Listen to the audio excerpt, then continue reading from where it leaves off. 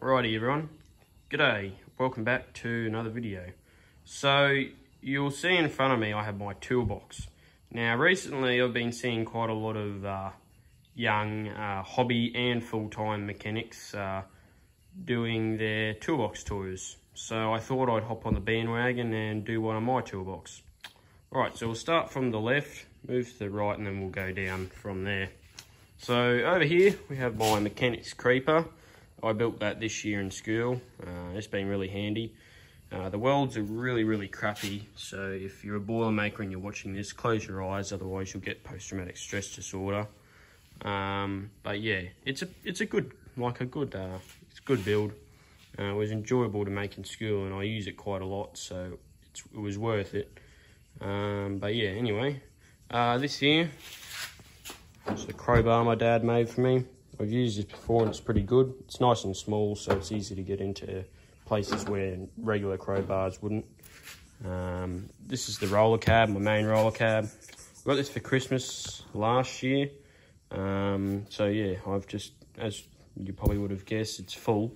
Um, so I've just gradually added more tools to it over the years and, uh, well, sorry, not over the year, over this year I've added more tools to it and it's full.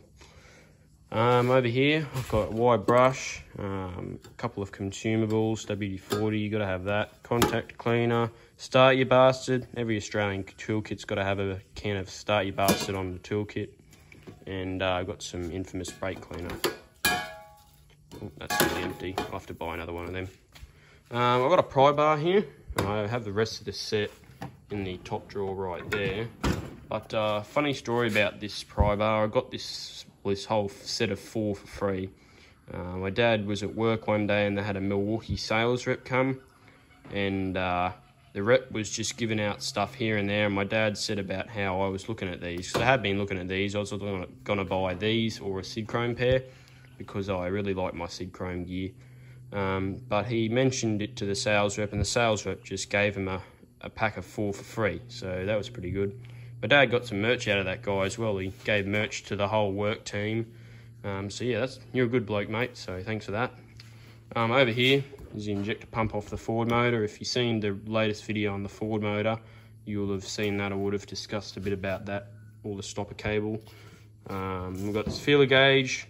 That's probably familiar to you from the last video, um, where I check for warpage in the head of my Nuffield. Then we've got my big toolbox here. Now this is arguably my favorite, one of my favorite tools in the whole set, or this whole kit here. So this is a Sidchrome toolkit.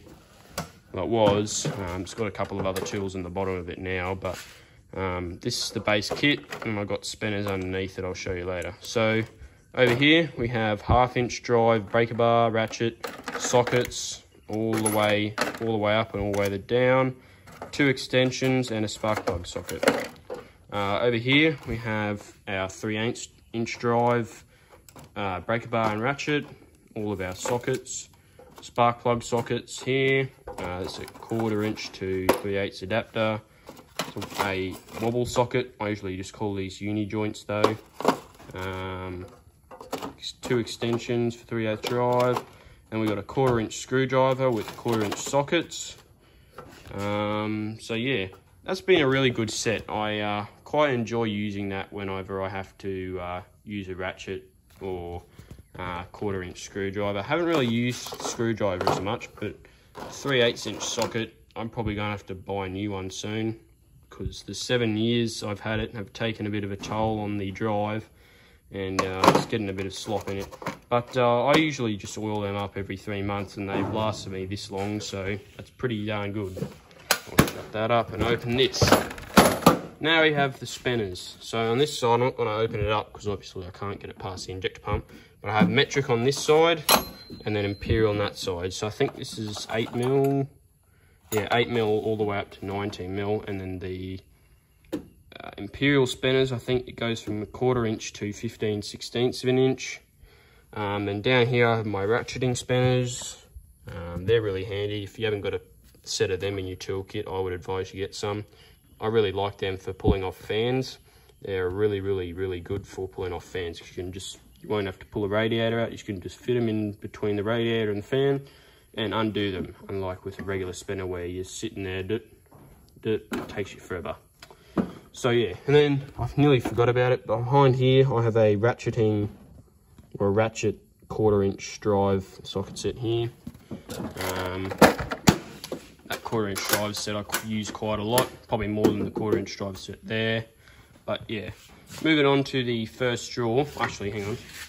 I probably should go through this. So we got just PPE, gloves there. I think that's a receipt for one of the safety glasses. I've got a pen here, two multimeters. The one at the back is sort of my just run around multimeter. It can be, it's just kind of a odd job multimeter. This is my good multimeter. I got this for my birthday this year. I've got a tape measure here. This is a Stanley one. Now, funny enough, uh, this is the only five meter tape measure that I could get that had imperial and metric readings on it. So, yeah, got on your Stanley. You uh, thought outside the box with that one. Uh, so first drawer, um, got all of my hand tools in it. So I've got chisels, uh, pliers, these long nose pliers I use quite a lot. They're really handy. They're Stanley. Um, I've had them for a long time actually. Uh, then I've got this shifter, which my pop gave to me. This is a Stanley as well, so it's been pretty good. Um, down here, cylinder hone. You'll see more of this in the future. I bought this to hone out the bores in that Ford block and also the bores in my tractor when I get the new liners for it. Um, then we got a Thorex TH714 nylon hammer. This is a really, really good, uh, really, really good tool. I've used this a lot. It's had a lot of uh, love smacks on it. As you can see, it's got a couple of dents in the nylon heads. but uh, that's been a really good hammer. That's handy. So if you ever need to get a nylon hammer, buy one of them. Um, and as I said before, there's the rest of the pry bars. Now, this is an experience I had with a tool where I thought I would never use it, but guess what? I used that so much, it's not funny. So I bought this Stanley knife from Bunnings for, I think it was like 20 something dollars. And I thought, far out, I'm wasting my money away on this. I'm ne never going to use this. This is probably one of the most used tools I have in this, this whole top drawer. Um, I use this so much, it's not funny. I use it for cutting gaskets, hoses, uh, what else? Gasket hoses, tape, gaffer tape, all that sort of stuff. Cutting out paper, cardboard. Um, yeah, it's a really handy knife. If you haven't got a Stanley knife in your toolkit, I'd get one. Uh, then we have a set of or a set of calipers, vernier calipers.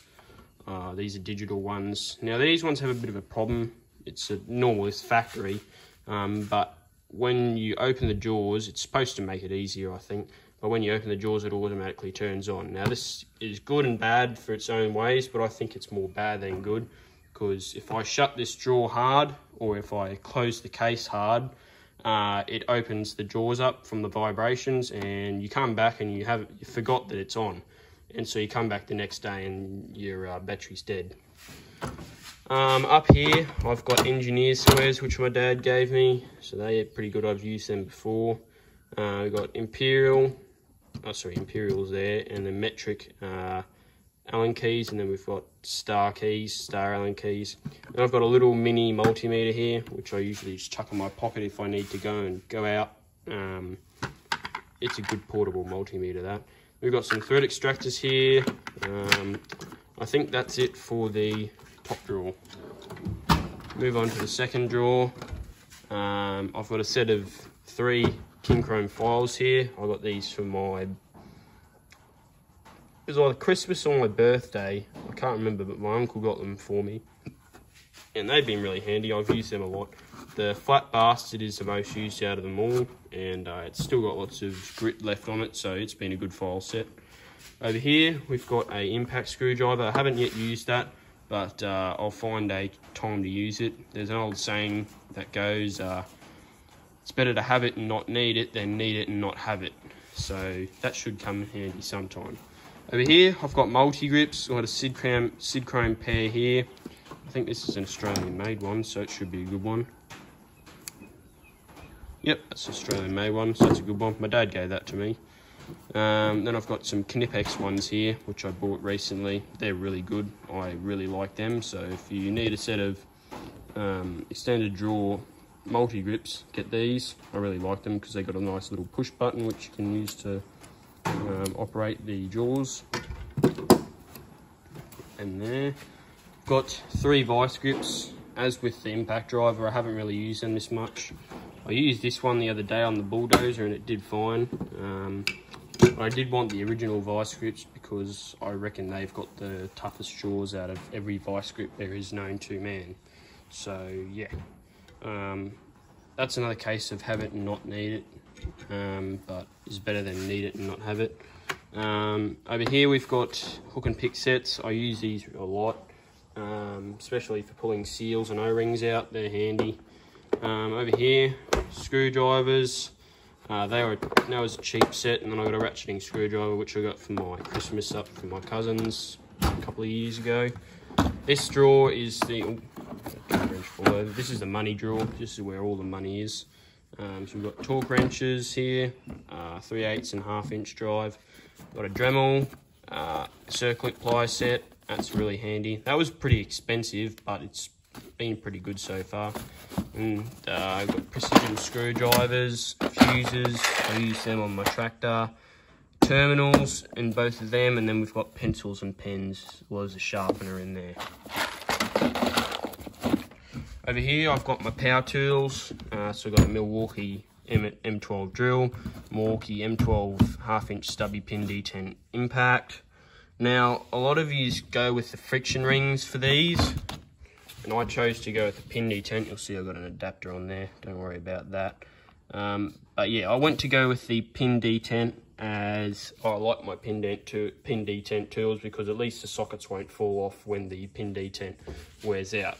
See, what I think pin detent is good for is a bit like a aging wine, you know? It uh, As it ages, it gets better and better, so it gets easier to pull the socket off and put it back on, but yet it still stays on there. So that's why I went for a pin detent instead of a friction ring for that. Um, some of these would disagree with me for getting the pin detent, but that's all right. Um, oh, we've just got some so, some uh, cards for fixing brakes on the Nuffield.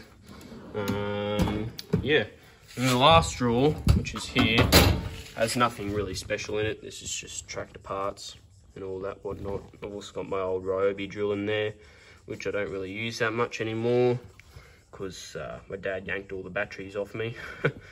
um, but anyway, this is the overflow tank from my tractor. Under here is like, I think, I put all the injectors and all the injector lines and all the bolts in that box, I think.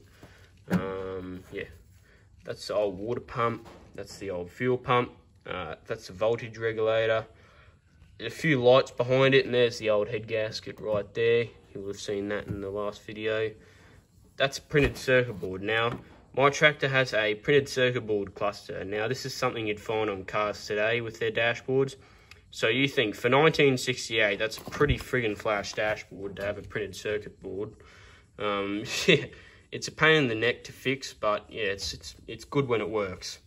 Uh, so close that. Um, all right, there you go. That's my toolkit. I hope you enjoyed the video. Um, if you liked it, give it a thumbs up. If you didn't, you're probably a Snap-on fan and you were cranky because you didn't see any Snap-on gear in this toolkit. That's all right. Um, if you like videos like this, uh, please consider subscribing and I'll see you in the next one. Bye for now.